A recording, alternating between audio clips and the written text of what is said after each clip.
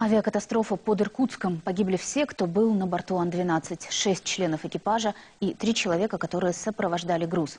Впрочем, что именно перевозил Ан, власти не сообщают.